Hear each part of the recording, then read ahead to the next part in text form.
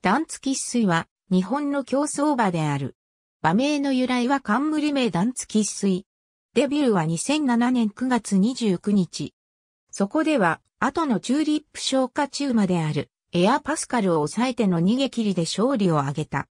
2戦目の萩ステークスでは2着に終わったものの、ここでも後のラジオ日経杯2歳ステークス勝ち馬であるサブジェクトを負かす活躍を見せた。しかし、その後、東京スポーツ杯2歳ステークスは9着、中京2歳ステークスは6着と凡走が続く。2月に自己条件の500万下のレースで2勝目を挙げ、アーリントンカップに出走。マイル戦にもかかわらず果敢に後続の馬たちを序盤から大きく引き離す大逃げを見せ、最後まで粘り切って重賞初制覇を果たした。父シンボリクリスエスにとっても3区の重賞初勝利となった。しかし次のニュージーランドトロフィーでは前走同様の大逃げを見せるが、最後まで粘り切れず発着だった。続く NHK マイルカップは17着と大敗した。その後、管理していた調教師の橋本久志生が逝去したことに伴い、中村仁志厩舎へ、天馬屋した。天馬屋初戦となった交流重賞サマーチャンピオンでは2着だったが、続く、京成杯オータムハンディキャップでは、ハイペースについていけなくなり、16頭立ての16着と、しんがり負けを喫した。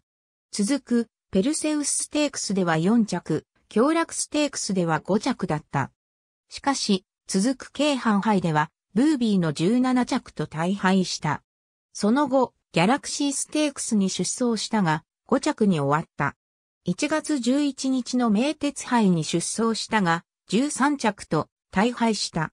その後、ネギシステークスでは16着、千葉ステークスでは10着という結果に終わった。その後3月4日に、右、頭骨炎異端骨折が判明し、休養することになった。半年の休養を終え、9月21日のエニフステークスで復帰したが9着に敗れた。その後は休養に入り4歳シーズンを終えた。休養を終えて6月5日の天皇山ステークスで復帰。中段追走も直線では全く伸びず12着と大敗した。続く、米子ステークスではスタートから花を奪って逃げるも、直線で力尽き18着と、との負けを喫した。その後、初の障害戦となった7月31日の障害、未勝利戦では2周目にコーナーまで先頭に立つも2周目、3コーナーで後続馬に捕まりブービーの発着に敗れた。8月14日の障害未勝利戦では2周目1、コーナーまで軽快に握るも右肩破行を発症したため、2周目1号、障害手前で競争を中止した。レース後の8月20日付で競走馬登録を抹消し、浦和競馬に移籍。しかし一度も出走しないまま11月19日付で地方競馬の競走馬登録も抹消された。